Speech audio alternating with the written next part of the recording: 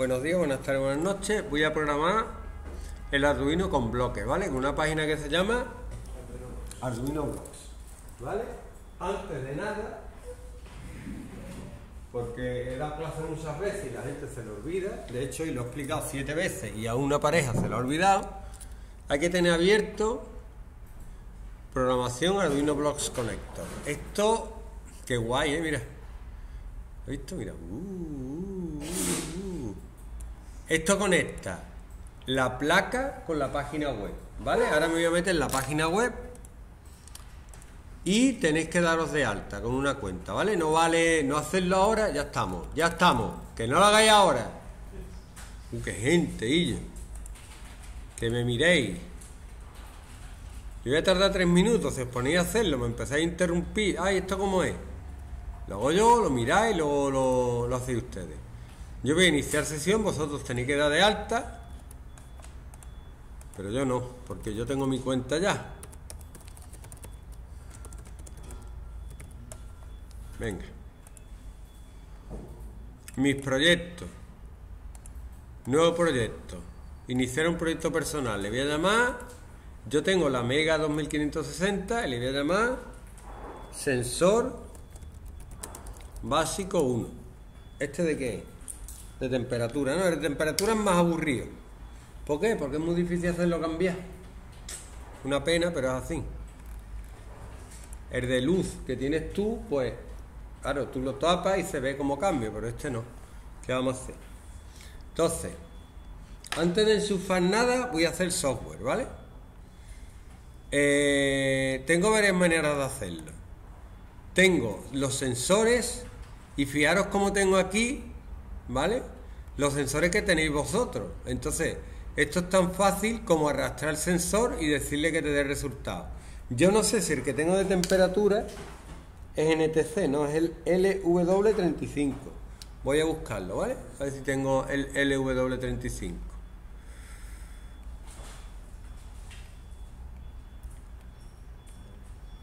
¿Ve? Yo tengo el LM35. Pues hago así.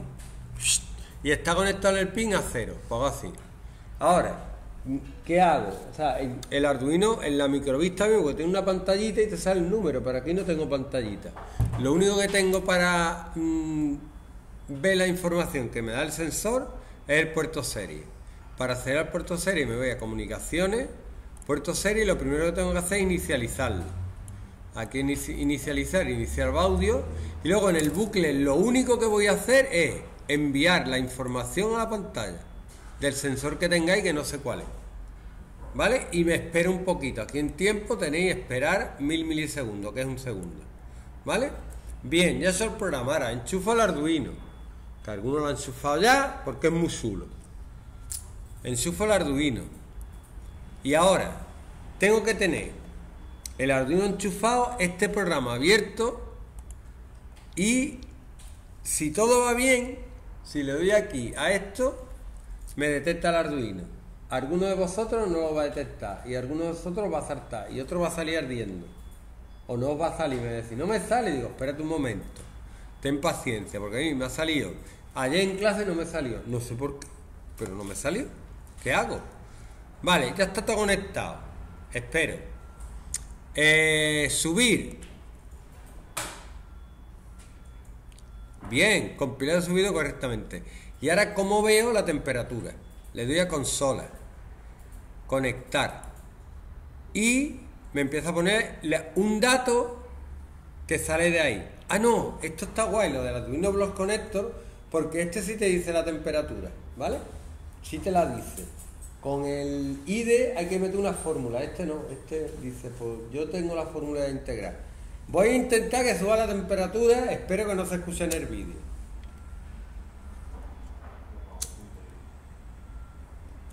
¿Vale? Ha subido un poquito porque eso es lo que he hecho, no lo digáis.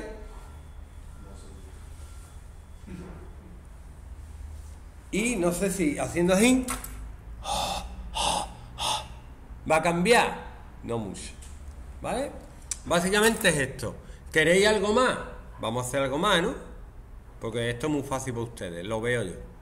Algo más sería Es que lo malo es que esto no va a cambiar, pero la lógica del programa está bien, ¿vale? Voy a crear una variable que se llame, fijaros que hay de número de texto y booleano, esta es de número, que se llame, ¿cómo llamo la temperatura? T. Bien. Todo el mundo dice temperatura. No, escribe menos.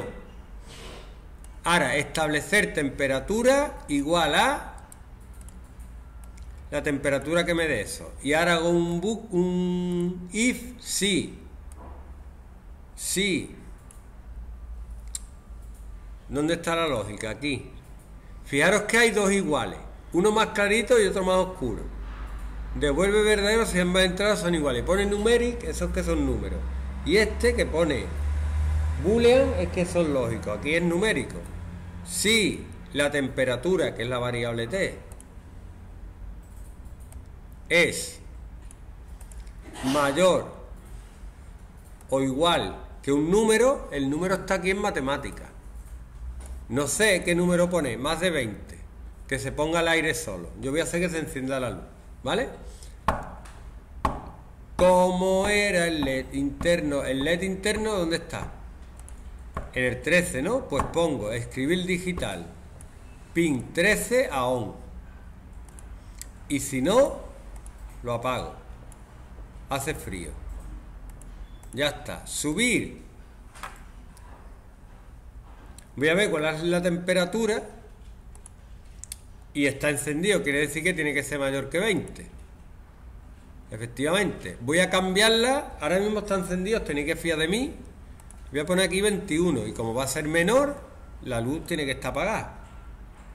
¿Ves? Efectivamente, ya se ha apagado que la temperatura no cambia. ¿Vale? Pero aquí está apagado la luz. A ver si lo caliento.